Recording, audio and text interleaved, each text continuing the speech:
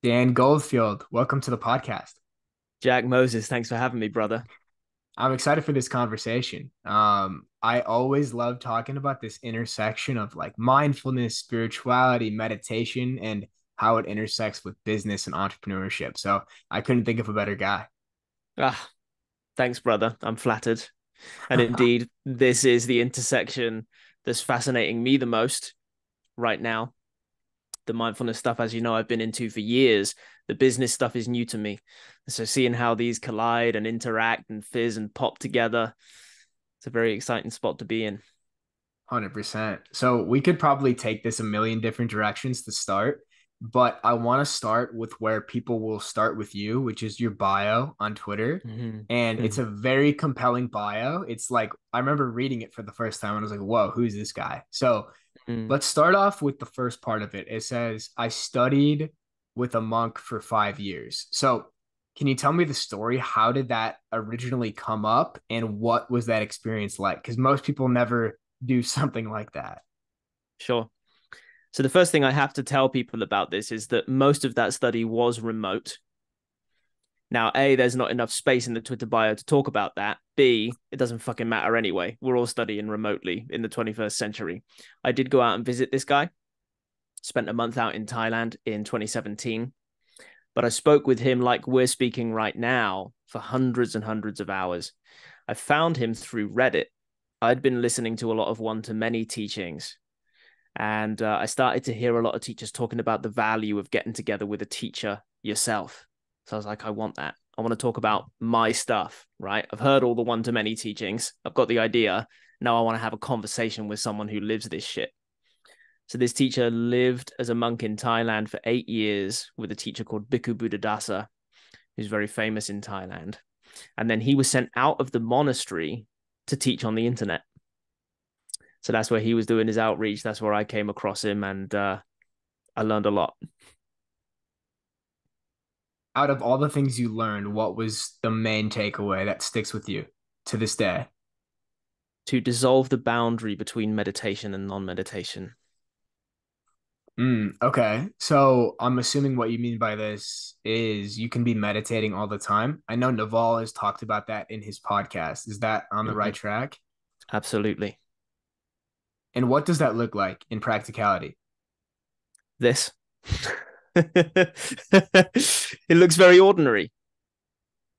Now, it's worth making the distinction when we talk about meditating all the time. We're, of course, not talking about being in a deep state of concentration, a deep state of absorption all the time. That's impossible. We wouldn't be able to cross the road, right? The Buddha laid out four states of absorption that he called jhanas, and these are widely recognized. The first of those jhanas is either very similar or the same as what we now call flow state, depending on who you talk to. Some will say it shares characteristics, some will say it's the same thing. Practically, it may as well be the same thing. We feel good, we're able to focus, no distractions, we're operating well, all the stuff that we care about. So that's what we're doing when we're meditating all the time. And what this teacher said to me, the way he framed it was look, if something's good, if something good is happening in your meditation, why not make it happen all the time? And so I set about that. I started practicing like I was practicing when I was sitting, only instead of focusing on my breath, I was focusing on walking is an easy one. We hear about walking meditation all the time. But what about driving meditation? Talking meditation, listening meditation, shitting meditation. Hmm. it's all available.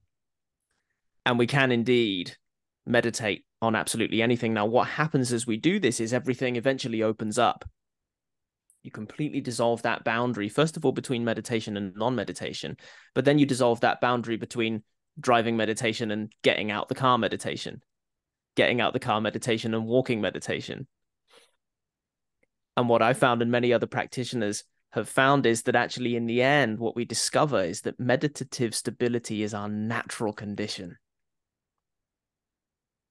We are naturally clear and lucid and effective in every moment.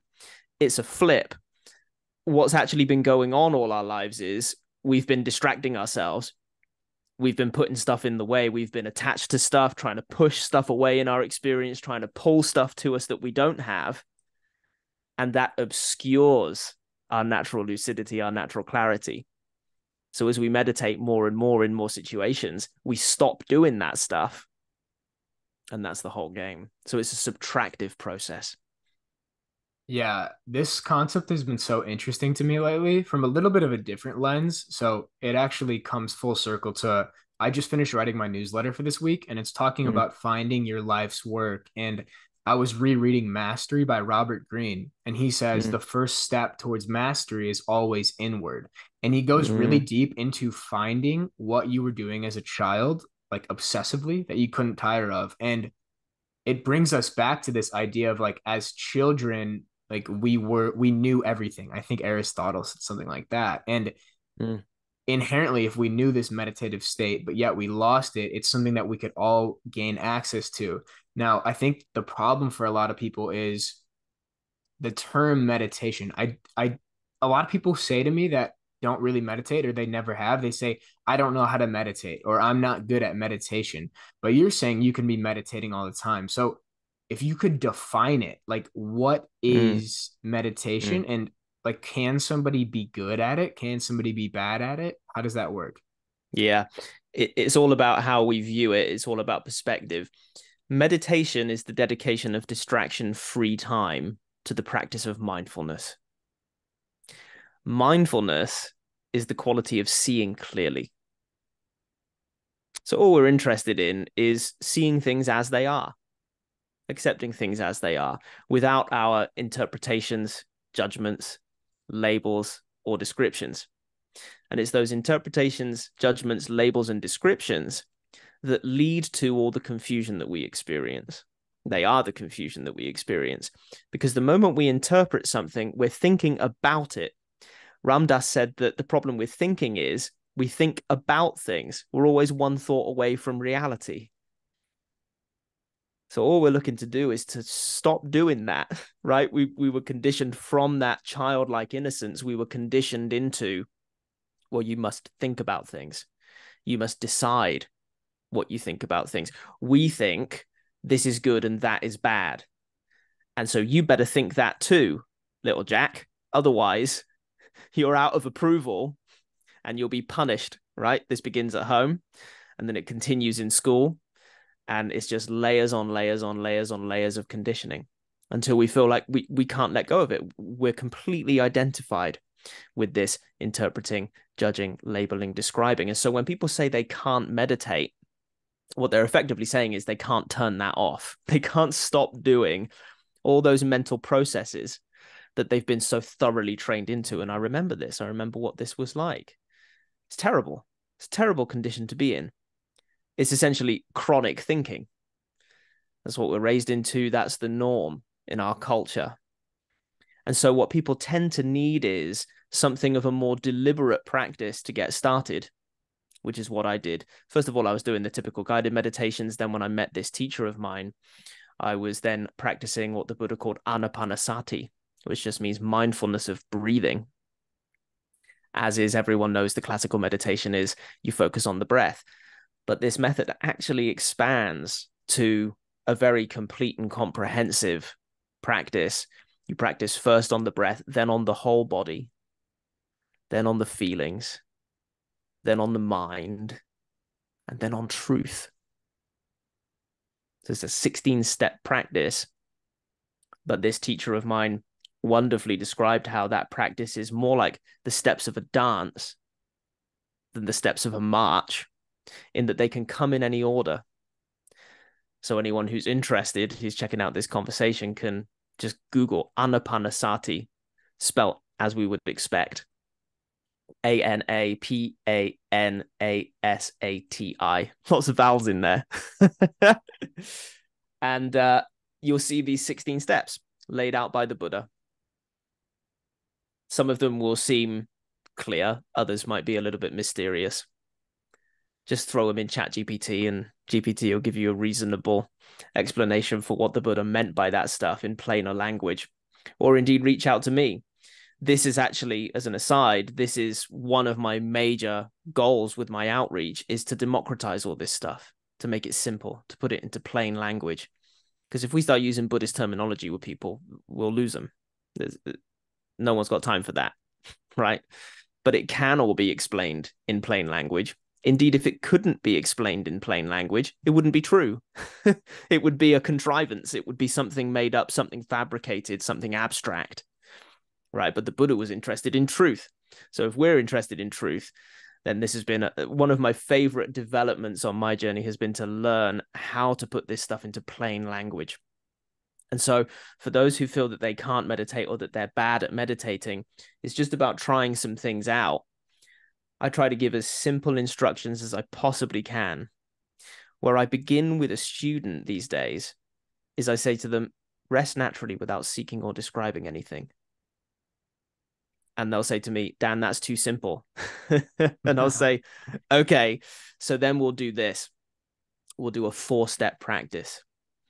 The first step is to go to a distraction free environment and get comfortable.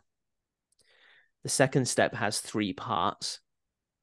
Part A is to relax, which means in this case to accept things as they are. To accept things as they are. Part B is to stop wishing things were different. And part C is to quiet down, or as I sometimes like to say it, to shut the fuck up. Stop commenting on stuff. Stop that mental chatter. Now, people will hear this instruction and they'll immediately say, Well, I can't, I can't stop it. And I'll say, Okay, well, just stop it now. Just for a brief moment. Just again, just to whatever degree you're able, just stop that mental chatter or relax it. Can you make it 10% slower, 10% quieter? Right? So accept things as they are. Stop wishing things were different. And shut the fuck up. That's part two. Okay part three, step three,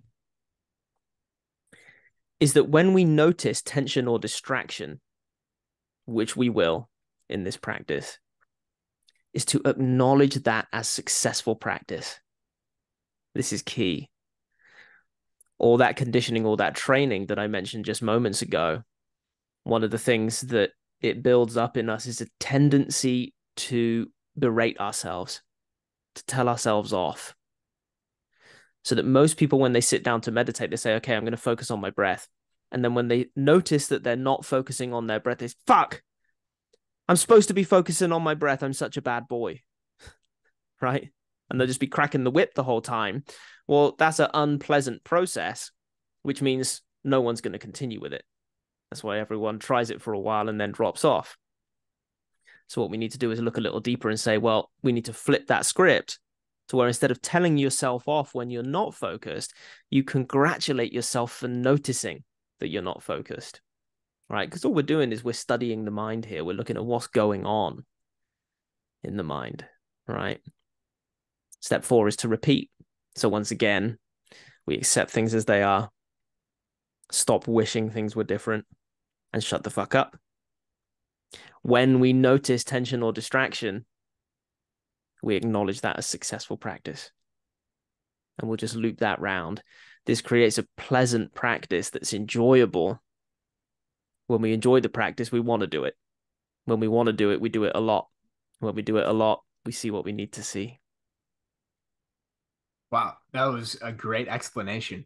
Um, yeah, I think the hardest part for me and for a lot of people is escaping that thinking mind and mm. to really be able to turn it off is very rare and i think most people don't ever see that or experience what that feels like mm. i have felt like i've been on the other side of my thoughts at times a, a couple mm. select times not consistently and hmm. my experience has been aided by psychedelics but i know hmm. meditation gets you to the same spot so you're obviously an expert meditator at least by my standards in your bio it says you've meditated 29,000 hours and I did the math and that's like three and a half years. So for somebody who's starting off and they can't escape the mind, how long for you did it take to turn that off? And how long could somebody expect roughly? I know it's probably different for everybody, but how long could somebody expect to practice to get to the point where they're on the other side of their thoughts, to where mm. the mind mm. is only active and the rational mind is only thinking when you need it to think? Because I know Ram well, Dass has talked about that as well as you were talking about him. Yeah. So good news. We actually don't have to shut the mind down to that degree. This is this is a mis well, it, it's sometimes a misunderstanding. Some teachings actually at least imply or outright demand that we do actually shut down the mind. I spoke about those four jhanas earlier. This would be character characteristic of deeper states of meditative absorption that that thinking would stop, or at least some kinds of thinking would stop. What we're really interested in is what perceives thinking. There's something about us that's not a thing, but we have to speak about it in these terms. There's something about us in which, as which, by which, and through which those thoughts occur. And that something is present whether thoughts are around or not. And so, if we can identify with this, then it no longer matters to us whether we're thinking or not. And indeed, all of our thinking then is in the position of servant as opposed to master.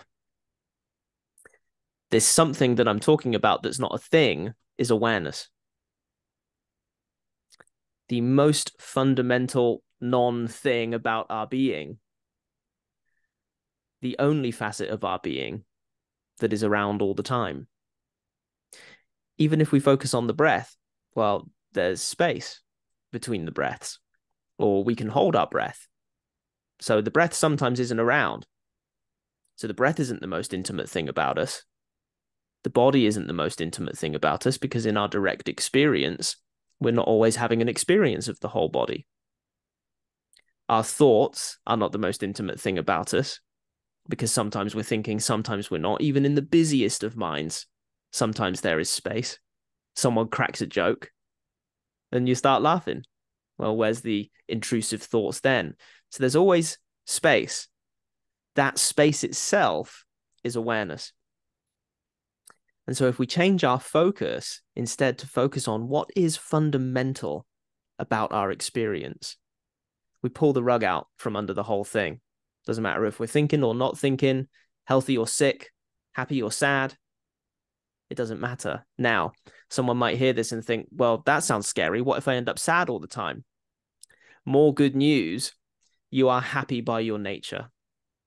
And we have hundreds of millions of monastics over thousands of years have confirmed that when they get quiet, they get happy, they get kind, they get effective they get what outwardly would look like disciplined, but they're just having a nice time. Now, monks are, of course, at various stages in their journey.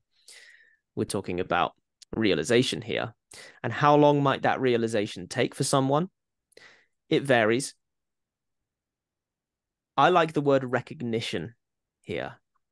Realization is close. Recognition is even closer because what we're looking to do is recognize something that's already the case it's already the case that awareness is the most fundamental thing about being.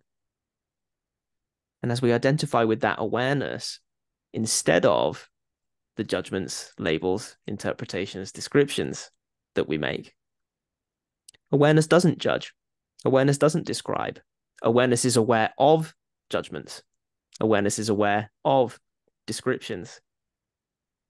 Right? So that's what we're looking to get to as, and as we recognize this more and more, first of all with a glimpse, then with another, then with another, until we gather enough evidence to see, yeah, this this is who I've always been. Everything else about myself has come and gone. Everything I've ever taken myself to be has had a beginning and an end. Only awareness has always been on in my direct experience. And this is an important distinction wise teachers talk a lot about direct experience as distinct from something that you've read or heard somewhere, something that someone else told you. So we're always looking to confirm in our direct experience what's true. And so I encourage anyone who's listening here to confirm what I'm saying in their direct experience. Are you the body, or is the awareness of the body more fundamental to your being? Check it out. We have the assumption as a scientific community that awareness is generated by the human form. Usually we would assume by the brain. Yet in our direct experience, if we ask the question, does awareness appear within the body or does the body appear within awareness? Then we have some interesting territory to explore. And if anyone falls down this rabbit hole as they're listening to me speak, they're welcome to reach out in a DM. well, I kind of want to go down this rabbit hole now uh, that Perfect. we're at this topic because as you're talking about this, I'm noticing and I'm trying to sit in that awareness, right? I think mm. that's what Michael Singer talks about in The Untethered yes. Soul. It's sitting mm. in the space behind the thought, it's si- sitting in the seat of awareness. So, mm. when you say you're meditating all the time, are you sitting in that awareness 24 7? Is that what exactly you mean by that? And if so, precisely, are there things that pull you out? No. And here's why is because it's so simple. When we see that what we thought was pulling us out in the past was just another experience known in as by and through awareness, then again, it has this quality of kind of pulling the rug out from the whole thing. We see that any experience we've ever had of being distracted or being seduced by some gratifying phenomenon well, we were aware of that too. Awareness is always on. So when we gather enough evidence that what we are is awareness fundamentally, then there's no chance of it being off. We we see that that's the case. And we see, well, I've always been aware of everything that's happened to me. Now, again, this may give the impression to the listener that that then, well, okay, so what? Am I just going to end up at the bar every day? I mean, if if you know, there's no distinction between I've always been aware. And so I recognize that. Well, how does this help me in my life? Well, it helps us because awareness, again, doesn't judge, doesn't describe, doesn't label. Awareness doesn't get stuff wrong.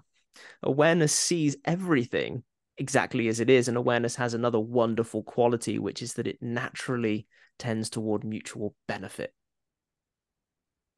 And this is a wonderful uh, distinction that a great teacher that I've spent much, much time listening to called Ziji Rinpoche. Someone asked her one time, How do you know if someone's really enlightened? There's been a lot of charlatans in this game over the millennia, a lot of people claiming some kind of spiritual attainment who were really just looking to make a buck or do whatever.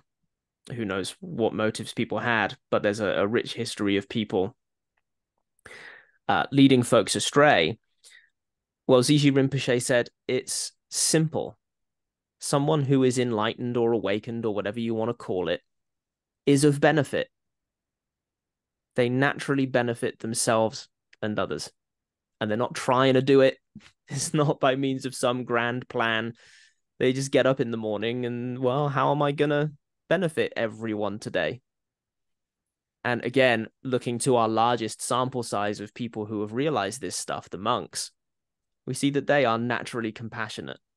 They don't complain about stuff, they're just doing good deeds all day, every day. Now, another place that we get tripped up on this in the 21st century is our means of exercising mutual benefit now look very different to what they did in ancient monastic communities. And so we get caught up in romanticizing about the way that wise people have done things over the millennia. And we think, well, I'm just sat at my laptop all day. I can't be enlightened. or projecting to the future, if I'm sat on my laptop all day, I couldn't possibly be enlightened. And so we think, well, I must have to change something about my behavior in order to get enlightened. I better go and check out the monastery, or I better put a shrine somewhere in my home and I better meditate four hours a day and I better do all these rituals. I've got to light incense. I've got to have photos of holy beings on the wall. And it's it's all just stuff. It's all just stuff. And what we see with this real recognition of what is irreducible truth, which is the only thing that I've ever been interested in. What's true when I'm not saying anything? What's true when I'm just looking and seeing clearly and of course, that comes before any judgment, label, or description. Right. So, what's true is when we shut our mouths, when we stop thinking about it, when we stop trying to say an answer, when we stop even trying to find an answer, the answer is right here, plain as day. It's just this. The Buddha called himself not Buddha. This was a name that was given to him. But the Buddha called himself Tathagata, which from Pali roughly translates to one who is thus, or one who is just this. Ordinary, simple. This whole enlightenment thing, this whole awakening thing is so much simpler than most people make it. And it is available to everyone. There is no one who is bad at meditation. It's impossible to be bad at meditation.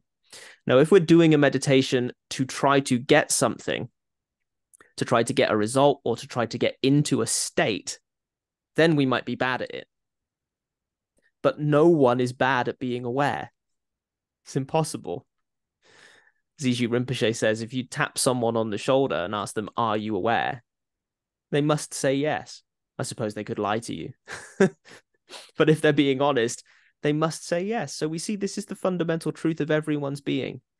And the more we identify with that truth, the less problems we cause ourselves naturally. Because why would we? Why would we cause ourselves problems? Unless we're confused about what's going on, that's the only time we cause ourselves problems. I've written that the only reason evil is ever uh, performed is because someone's confused about what's going to bring them satisfaction. Adolf Hitler thought that killing every Jew he could find would bring him satisfaction. Well, he was misguided. He was never going to be satisfied in that condition. So, this is just a deep, deep confusion. But when we just rest, when we just allow things to be as they are, it's impossible to cause ourselves problems. And for you, reaching this level of awareness, was it a gradual thing or was it more of a the satori, the sudden awakening? Mm. It's a recognition thing. Now, I was involved in many different practices with many different teachers many different books, many different talks, many different guided meditations, many different solo techniques of meditation. In the earlier stages of that journey, I thought I was developing something. I thought I was getting to something. And many teachings indeed at least imply that there is something to be gained through these practices that that we are changing ourselves from a lesser being into a greater being well this is a teaching of duality we're still saying we're judging we're judging we're saying i'm rotten as i am and i need to do all this work to fix myself up when i discovered the non-dual teachings then I discovered, oh, this is just about recognizing who I have always been. And then it just became about glimpsing that, glimpsing that, glimpsing that in as many moments as I could until it became clear that, see, a, a flip occurs at some point for each practitioner who does this, where it stops being recognizing awareness and it starts being, oh, why would I think that? Why would I be seduced by that gratification? Why would I judge this thing to be good or bad? We start to see all of the old mental scripts as extras. We begin from that position of extra and we think we're doing something to relax. But relaxing is not a doing, relaxing is non doing. So we flip at some point and we re- oh relaxation is my default mode well being is my default mode. And then why would I ever do anything that would make me unwell? Why would I ever do anything to distract myself unduly? Why would I ever do anything to harm myself? Does that make sense?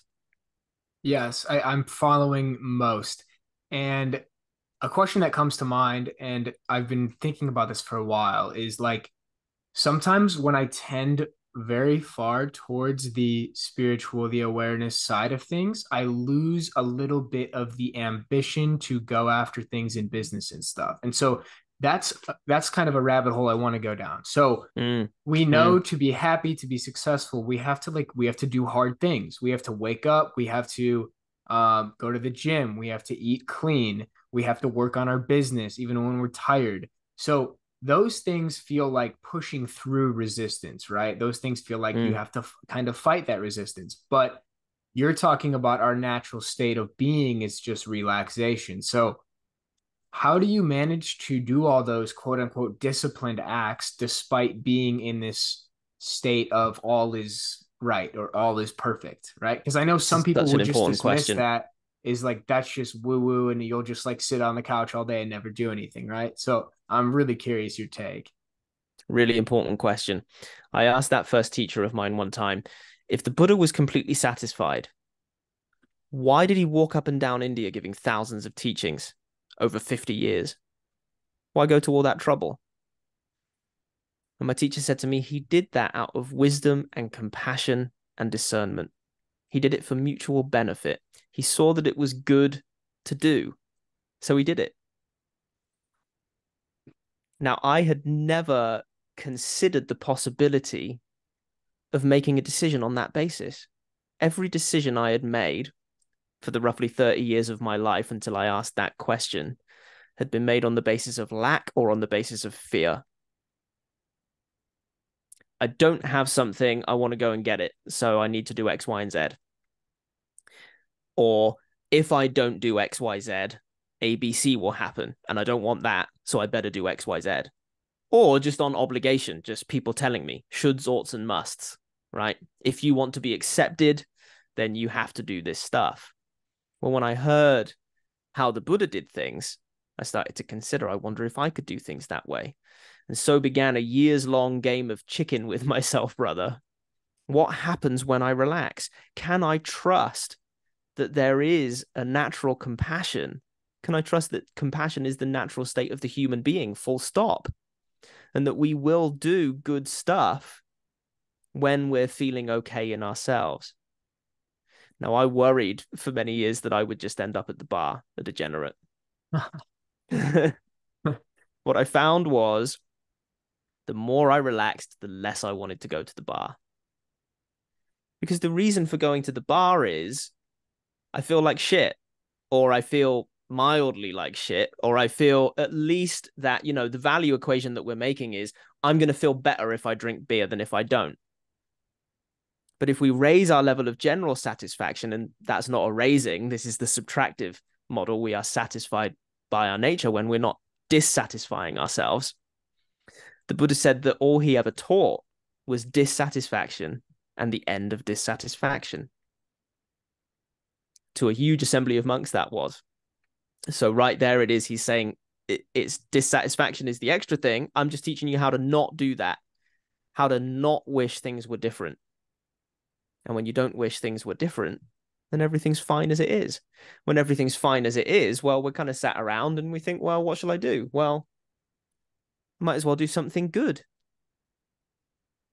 We don't need that gratification that we needed so badly anymore.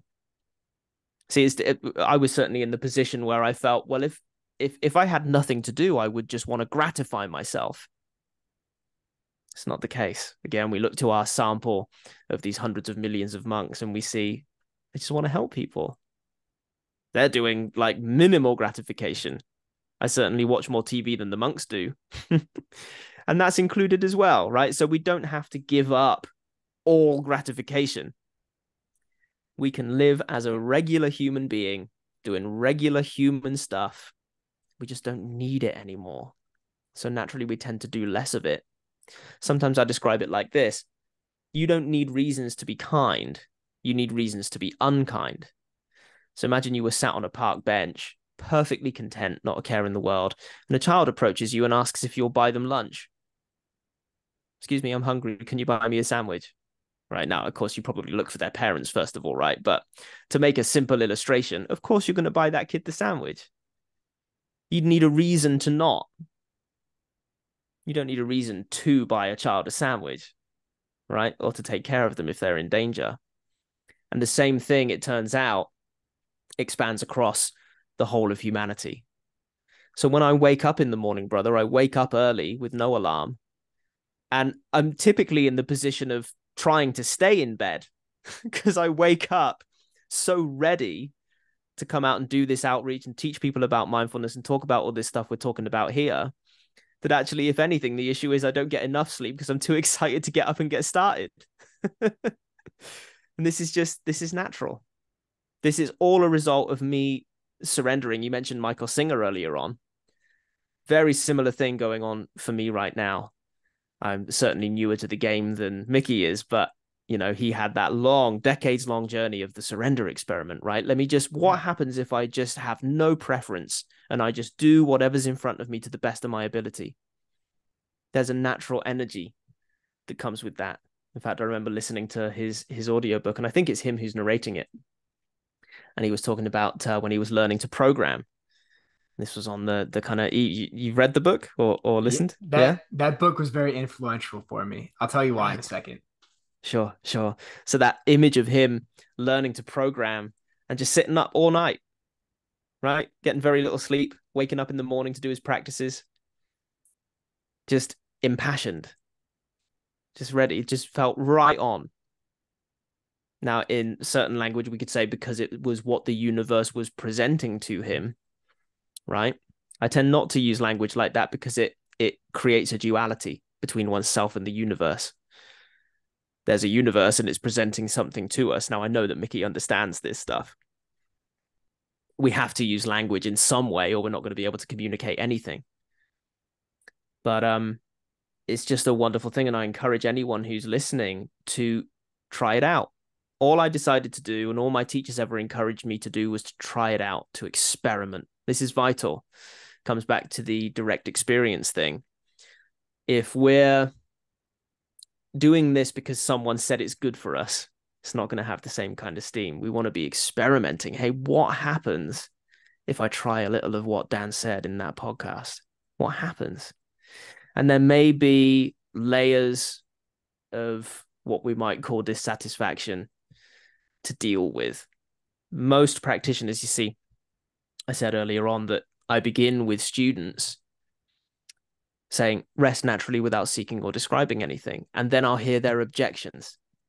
And over the course of time, I'll work with that student to find out where is their stash of attachment? Where is their stash of dissatisfaction? What is it that when they sit down and close their eyes and get quiet, what is it that bothers them? And then we'll work with that. And maybe a specific kind of sitting practice is suitable. Maybe they need to hear something from a different perspective. Maybe they need to do a retreat. Maybe they need to, you know, there's any number of strategies that we could employ. Maybe something that looks more like psychology or self help is appropriate for that student. Everything's available to us now in the 21st century. And that's one of the beautiful things about it. For sure. Yeah. So many things came up in my head as you were talking there. Um, the first one, I can touch on the Michael Singer book um, the surrender experiment really quick. So I was reading that book when I was in Costa Rica a couple months ago, and a, a, very good friend via Twitter reached out to me and said he was doing an ayahuasca ceremony in Costa Rica, and he invited me and my friend to go. And mm. my first reaction was, "Oh, I'm not ready. I'm scared. I'm too young. Like I don't want to do this. I'm too focused on my work." But I was reading that book at the exact time that he asked, and I was like, I'm just going to surrender to it. I'm just going to go with it despite every thought telling me not to. I'm just going to go with it. And I'm grateful I did because I learned so much about myself throughout that experience that I wouldn't have probably learned for years had I not done it. And it was just mm. about surrendering to whatever the universe was presenting me, right? Um, mm. So that's what was really powerful about that book for me. I actually never finished it though. I felt like right after mm. that, I, I kind of got it, and I was very fascinated with his life story. But I might go back and finish it. Mm. One thing that you said that was really interesting too is the fact that you're waking up no alarm clock and you're just ready to go.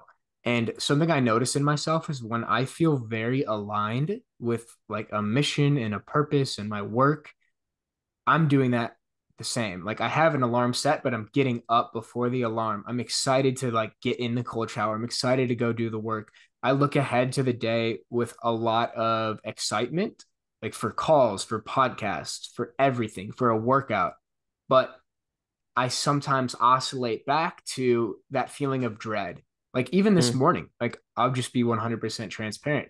My alarm went off and I laid in my bed for an hour because I was like, mm. oh, I don't I don't want to go do this and uh I have I have a podcast and I have to get on a space and I have four calls in the afternoon and it's that feeling of like, oh, there's just so much to be done and it can feel mm. So I'm sure a lot of people out there feel the same way. Like how can you stay in that alignment so that you see each day as exciting rather than mm. dreading the day? Because it's something that i well, struggle with. Yeah well you, you relax. And what is not aligned will fall away. Now this takes a certain kind of courage though it's not a courage in terms of like a charging ahead it's a courage again we're looking at this subtractive model the kind of courage that you had when you went and did that ayahuasca ceremony, the surrender, right? For me, this showed up most notably when I was transitioning. I suppose this would mark the beginning of my transition out of my previous career, and it was a long transition.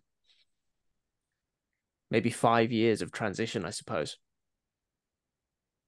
My teenage ambition was to be the best drummer in the world. I played drums for 25 years and I got very good. And I was playing in some really good bands.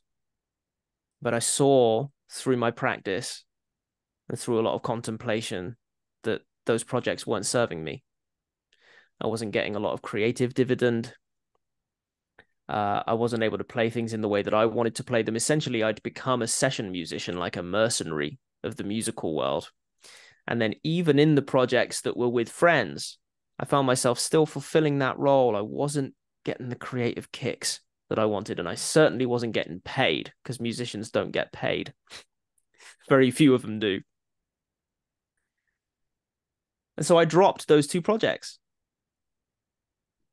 That meant letting go of that teenage ambition that I'd identified with for so long.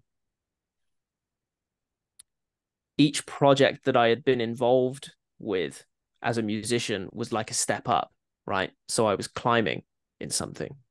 Yeah. Getting more and more high profile gigs. And then I quit these two that really kind of represented the whole journey. And I knew I wouldn't get back in.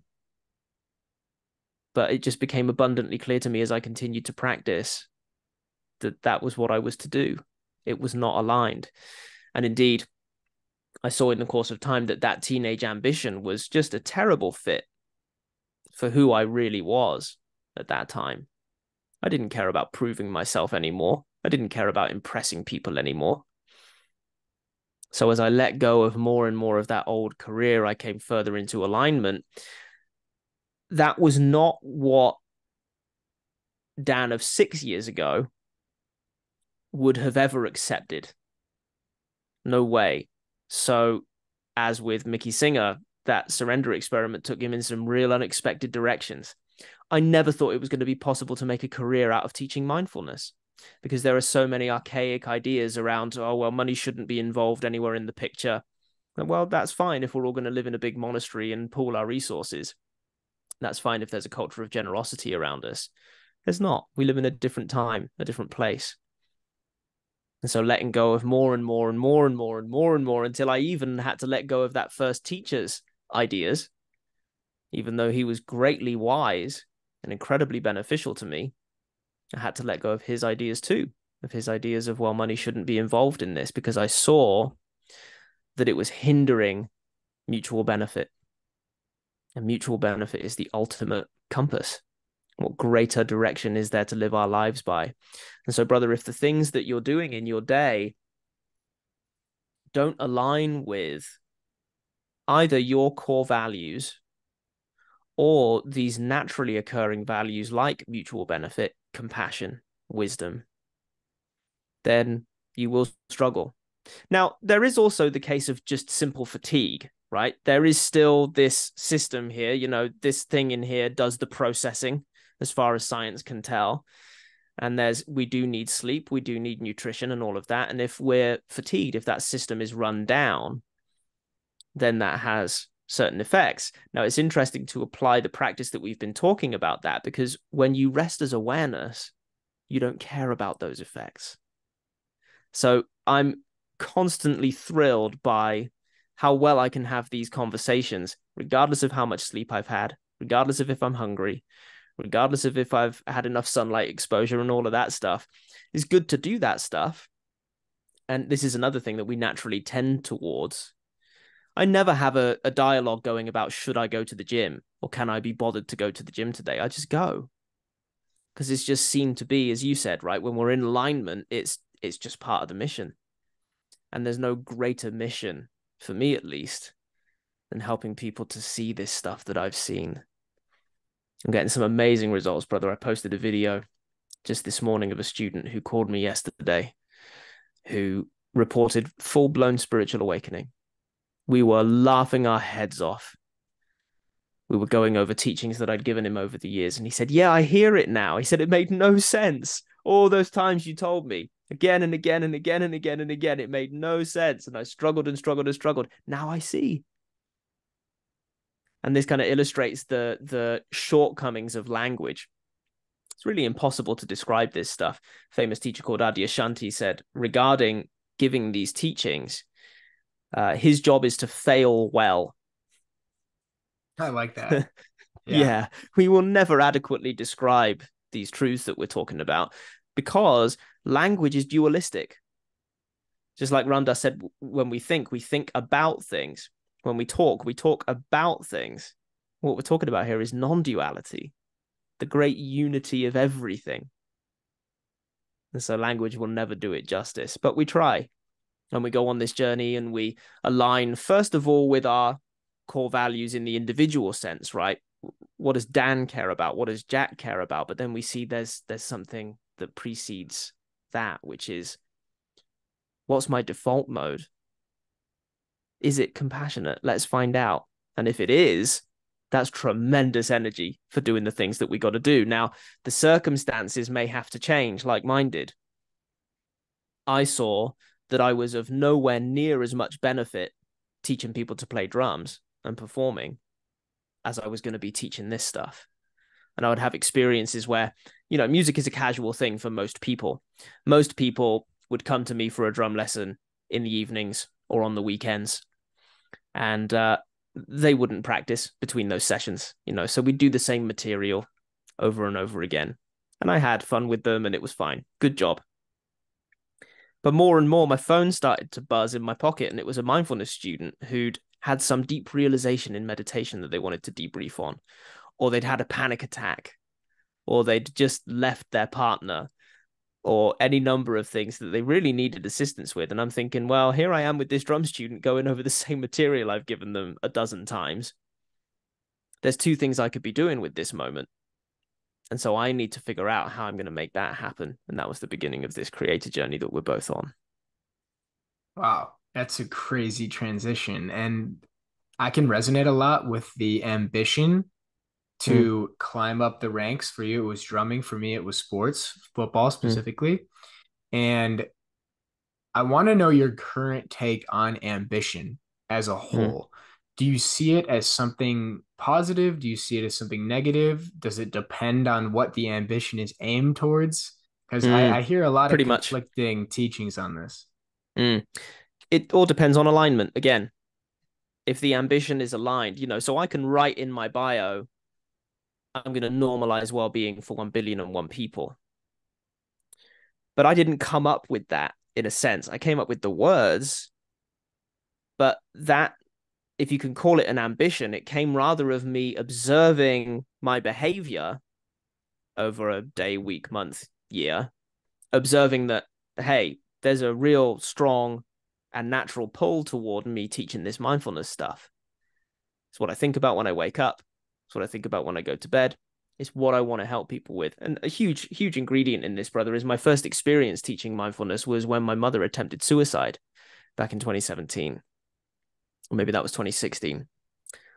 Um, I taught her everything that I knew. That was the only way I knew to take care of her. And I saw this shit save her life. So how am I going to keep teaching drums? how am I going to do anything else from then on? Right. And as I relaxed again, seeing this natural compassion arise, it's just a very natural thing. So, so that ambition, right? It looks like an ambition that, so the difference is in contrivance. If we contrive an ambition for ourselves, then it has the potential to be out of alignment. Now, we might, it's possible that they could line up. So, someone might, for example, grow up in a family of spiritual practitioners who tell them, you should be a mindfulness teacher right? And they might do it, first of all, out of obligation, and then discover as they relax that, oh, this is actually a really good thing to do. This is actually this this fires me up because I can see that there's mutual benefit here. I feel good when I teach. The students feel good when I teach them. So this is good. This is a wonderful thing. On the other hand, if you grow up in a family of solicitors and they're telling you you got to go and study law and you're going to be a criminal defense lawyer well, we can hear that's an easy one to point at and say, well, this is not in alignment with natural beneficial values. So that person is going to struggle. That person is going to have to effectively lie to themselves their whole lives in order to continue doing that work. Now, there is the case, of course, I don't want to be too uh, generalizing here. There is the case, of course, criminal defense. I don't know anything about law. Um, I don't know if that means the person who would defend anyone who's being prosecuted. I don't know if you know this, brother, because of course someone needs to do that, right? so right. anyone can have an accusation come at them, right? And they need someone to defend them in court. Well, that's a noble role. But someone who's actually defending criminals, I'm thinking of Saul Goodman from Breaking Bad here, you know. There's someone who's really out of alignment with these natural positive values. Makes and sense? for some yeah, it, it, does for me, but I think I'm fortunate to be in a spot where my work allows me to be in alignment. And I think for a lot of people, they're in a situation in their job where all this mindfulness stuff, it just seems too abstract. It seems like it wouldn't mm-hmm. help. I got a DM a couple days ago. It was pretty crazy DM. Somebody said to me, like my four year old son was just diagnosed with leukemia. He's like, Your meditation isn't going to help that, is it? And I, I didn't answer because I didn't know how to. But like, for that example, like, what what's your take on mm. a, statement like that in a situation like that? Because obviously that's a mm. horrible situation. Mm. It is a horrible situation. And it's important for us to be able to answer these kinds of questions and my answer to that question would be hmm, actually, now I consider it, there is some research that suggests that frame of mind can have real healing qualities.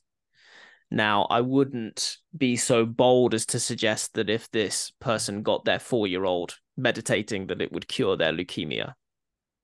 But what I could tell them for sure is that meditation and mindfulness would help them to deal with the tragedy, would help them to find acceptance when they're ready and not rage against these circumstances, which are what they are. And normally, with someone in that kind of position, we get into conversations around how resisting the situation, being angry about it, or being in denial, or any of these responses that people take, they don't change the situation or if they do change the situation, they situation they make it because we're running on anger, which just it, it doesn't help. It doesn't help. So indeed, whether this youngster is to survive or not, let's give them a calm environment in which to have leukemia. Let's give them a positive, supporting, wholesome environment in which to have leukemia.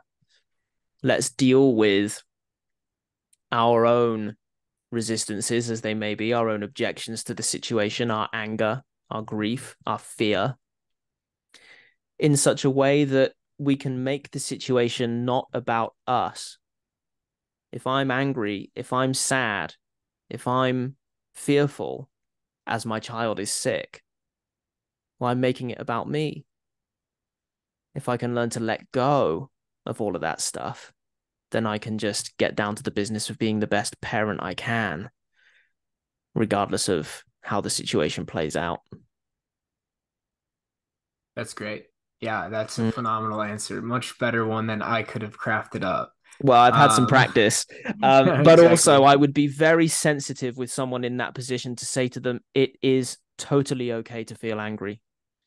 Mm-hmm. It is totally okay to rage against this situation. It's okay to feel sad.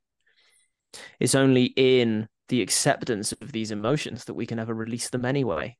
Mm-hmm. If we suppress them, if we resist the emotions themselves, we're just in the cycle of creating more and more juice.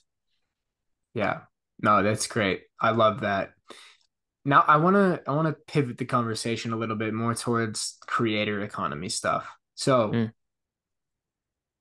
I guess we could start with this. As an entrepreneur or a creator, I feel so many struggle with being overwhelmed, being burnt out, etc. And I know a lot of people would like to have a meditation mindfulness practice, but they're like, I don't have time. So, mm. you know, to one of those people, like, why should they make time for these practices and how could they benefit from making it a consistent thing? Mm. So, consider two individuals with the same workload one is cool as a cucumber, and the other's pulling their hair out. We've all seen this happen or something similar, right? We know, we know categorically that it's not about circumstances. It's not about the workload itself. Although we can say that there would be a pattern, right? Most people with a greater workload would feel overwhelmed. Most people with a lesser workload would not feel overwhelmed. However, we see great examples of people with heavy, heavy workloads not being overwhelmed. So we know it's possible. Now we might say, oh, well, it's genetics, you know, this person's special. Well, where does that leave us? If we put it down to genetics, if we say there's nothing I can do about it, well, we're fucked anyway. So what I would say to this person is start small. Everyone takes a shit. So instead of being on the phone, do a shitting meditation, like I mentioned earlier, right? Shower meditation, stack them up right? Now yes you'll have to invest some time to begin with to figure out what the hell meditation is and how to do it. But there's no end of resources these days. I think it's important for people to get a sense of the roi right? So you know i spoke earlier about how easy it is for me to get up. In fact too easy if anything for me to get up and start working. And i will typically work 12 hours in a day work. And i don't experience it as work now, some of it isn't jobs that I would necessarily choose to do this week every morning before I do anything else. I've been checking in with my accountant and doing my accounts. By no means is that my favorite job. But A, as part of the mission, it makes sense. But B, the mindfulness stuff just, it's acceptance. Mindfulness is acceptance. And so what is to be done is just done. I remember a time working on accounts again. I used to have a really bad time doing my accounts. Mega, mega stress, mega stress. I would hurt myself. So the big problem that got me into all of this, brother, was tension. I had a lot of pain in my upper back, and I discovered that it was tension, and that that tension was caused by stress. When I was doing my taxes, oh man, my back was on fire, so stressed out. I am not a numbers guy by nature. You know, we're talking about how words are to put labels on things. Well, how about a spreadsheet full of fucking transactions with dollars and cents, in my case, pounds and pennies? You know, it's so like reified. It's so you're quantifying everything. And there's something in that. However, one year, maybe about one year into my mindfulness practice, I decided it's time to do my tax return. I'm going to put on some meditation music and I'm going to do a tax return meditation. That's what I did. And it was completely different to every other time I've ever done my tax return. And here's the kicker I got it done faster. So that's the answer for these folks who think I don't have time to meditate. It will have an ROI. And you can hold me to that, dear friends. Anyone out there who's listening who wants to hold me accountable to this statement that if you learn meditation and mindfulness and you apply it correctly, you will get things done quicker. You will earn more money. Now, of course, you know, there's lots of different things people could be doing with their time to get the money. So I'm not talking about making a business plan for people, but assuming the business plan is sound, one's execution with mindfulness in the picture will be better and that will result in that most uh, obvious of metrics for most people more dollars i've seen yeah. it happen the tax stuff is especially relevant for me to keep in mind because this upcoming year i'm going to have to do my first tax returns like all mm. and i have no idea what i'm doing literally no idea and even the mm-hmm. thought of it like i feel some anxiety building in my stomach and my chest yeah um yeah. but approaching it from that lens of like it's all fine like it's all okay. It can get done. You can do it. You're capable of doing it. And it will be easier every subsequent time. I'm going to keep that in mind. I might text you around tax season for a reminder. Um sure brother. but i want uh, another quick question on the creator economy. I notice sometimes it can be so stimulating. Like all the notifications all the replies all the messages right? Like how do you monitor that stimulation and dopamine? Because i feel like it, it can be so overloading at times and it can really mess with me. Mm, mm. i don't really experience those dopamine spikes anymore. And my best guess as to why is because i don't really care what's behind the not- notifications. Mm-hmm. i know i'm going to be good regardless right so whatever that dm says however many DMs are there, however many notifications are there, however many new followers there are, right? It, it doesn't affect me. Now, this is this is a good point for illustration as well. That doesn't mean that I don't want more followers. I want more followers because I know that it's good on the basis of mutual benefit for me to build an audience, right? I don't want more followers because it makes me feel good to have followers. Yeah right? And when we've again, it's like we've pulled the rug out from under the whole thing. When I don't care on a personal level how it goes, when I'm not attaching my emotions to those notifications and what's behind them, then I'm free. And that That's is the subject. Yeah. yeah, that is the subject of these labels, descriptions, judgments, and interpretations that we were talking about earlier on we make the interpretation culturally I am worth more if I have a large following on social media. I'm a more worthy person. I have higher value as an individual if I have a large following on social media. So that's, you know, when we're in that mode, we're fucked. But that is an interpretation because actually all, all it is is a number. That's all it is. We're just seeing pixels on a screen. It is it has no meaning beyond what we invest in it. And so when we stop investing, we're free. I love that. And it is such a tricky game because, like you said, on the one hand, you want more followers, right? Because you're going to impact more people, but you have to approach it from that sense of detachment. Like, I'm already complete without it. Um, mm-hmm. That's something that I'm trying to keep top of mind. And you know, sometimes you do get caught in it, like, oh, this post got me in a couple hundred followers. Like, let's go. I feel really good about myself. But mm. when you feel good about yourself, when you're giving those things that power, when you're giving encouraging comments power, you're also giving negative comments power too, right? So, right. The better way to approach it is just complete detachment, um, which is really yeah. interesting. And that doesn't mean we don't get to feel good when a post does well right but it's a different kind of it's how we can imagine the buddha felt good when he was teaching right oh i'm doing mutual benefit right now i'm giving something of value mm-hmm. and I get to receive something of value in return. This is a good thing. It's natural to feel good. Yeah, that's a good right? framework for like when you're posting. Mm. It's like, what is the motive behind this post? Is it actually encouraging, educating, or inspiring somebody? Or is it posted because I think it will get a lot of likes? That's a mm. really good frame to keep in mind. Yeah. Yeah. And do I want those likes because I'm going to feel more worthy if I get them? Mm. Right. Yeah, it's all this mind game. It's crazy stuff. yeah. Isn't it, brother? It is. But that's why it's great to have these conversations because if you don't, that's why I really believe like whether it's spirituality, whether it's mindfulness, whether it's philosophical, you need to have some greater frame to play this game through. Or else, how do you not drown in the hedonism of more followers, more likes, more money, more influence, more status?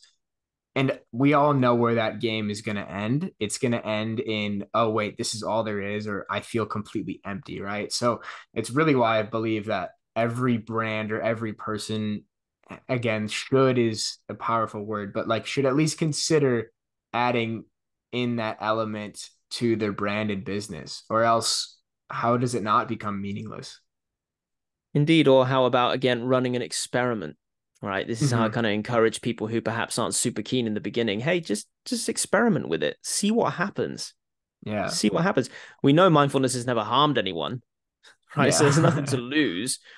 You know if it's the time thing well a lot of people a lot of people come to this practice after a burnout or after some tragedy or after something that's just really made it clear to them that they have to change something and so, for those of you out there who are kind of thinking about mindfulness, oh, I should be doing mindfulness, or I've heard that mindfulness is really good. I feel like I want to check it out, but I don't have time.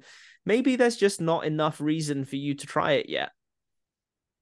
But when there is enough reason, then all you have to do is experiment a little. Do a one minute meditation once a day.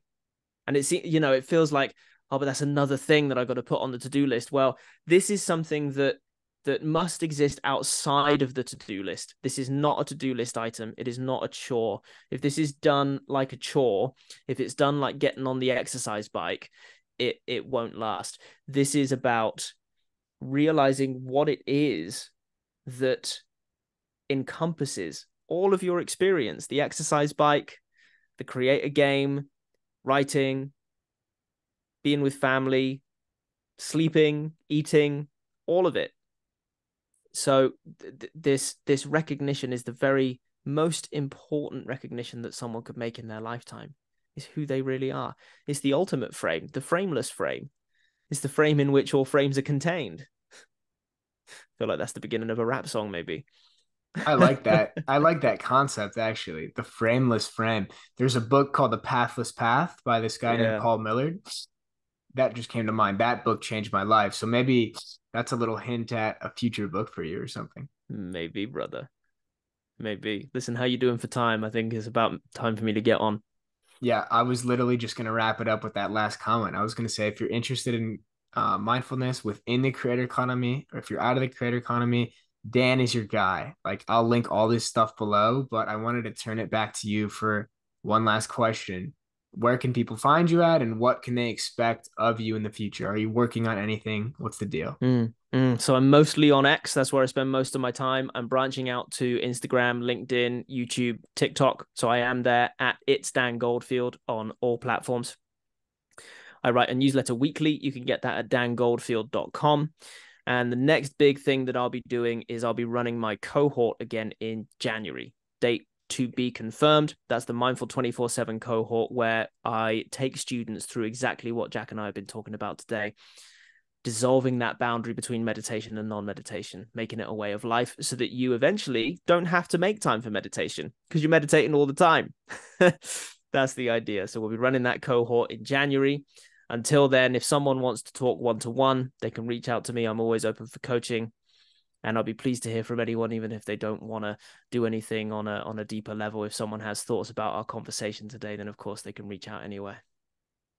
Awesome. Thank you, man. This was a phenomenal conversation. I really appreciate you coming on. I appreciate you having me, brother. Really enjoyed it.